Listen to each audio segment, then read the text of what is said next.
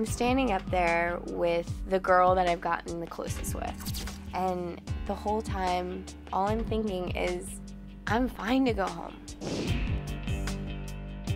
Casey's name is called, and Casey just looks at me, and I can see like she starts crying, and I'm just like, oh, don't do that. Like, there's no reason. I'm more upset than you are. I think in a way she feels like she's losing her confidant, but she has that other places I know, and she'll be fine. It really has been amazing though. I, I don't even know how to explain it. Meeting Heidi, yes, these cheeks were just for Heidi, thank you. it's inspiring. She's pregnant and she's up there and she's working and she's looking fabulous and gorgeous every day. She's unbelievable, she really is. Oh, jeez. Next, I go back to LA, have a few things that are gonna pan out, I'm hoping, so you'll see me around. Watch Models of the Runway extras at mylifetime.com.